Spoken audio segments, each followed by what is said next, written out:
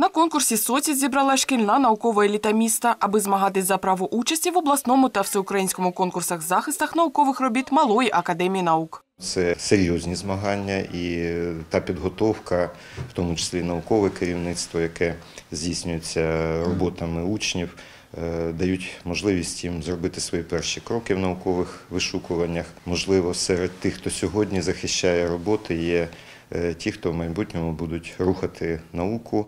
Кількість учасників щороку зростає, як і науковий рівень журі. В цьому році оцінюють роботи школярів досвідчені науковці.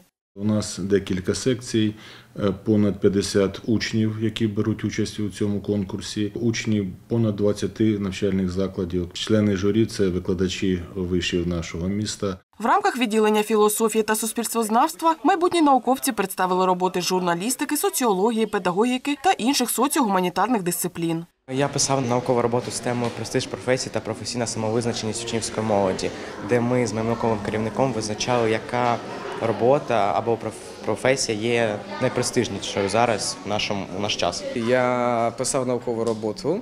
Я зайняв третє місце на обласному етапі МАН з релігієзнавства, теології та історії релігії.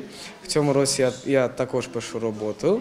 Вона про музику в єврейській молитві. Я представляю наукову роботу за темою престиж професії вчителя. Це, на мою думку, є дуже актуальним, тому що з вчителями ми зустрічаємося кожного дня. Наступний етап конкурсу обласний. Він стартує 2 лютого. Олена Мухіна, Максим Пономарьов. Цей день.